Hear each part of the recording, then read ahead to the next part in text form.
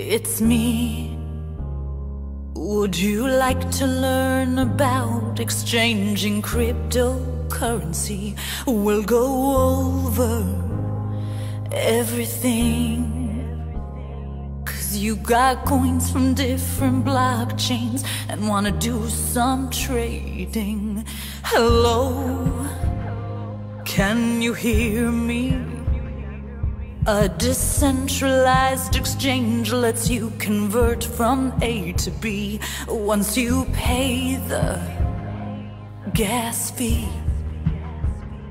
And no single point of failure means you got security. There's such a difference from Wall Street and no middleman.